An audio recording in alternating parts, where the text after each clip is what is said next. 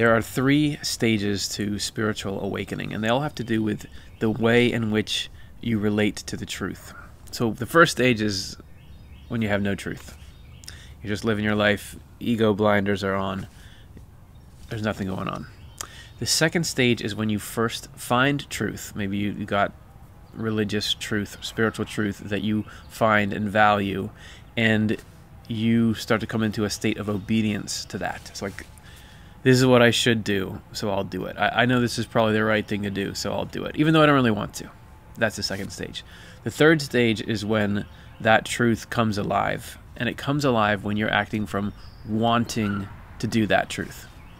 So instead of I should, I, I want my life to be based around this. I, I, love the way this affects my life and shapes it, and I, I want the world to live like this. I'm doing this because I love it.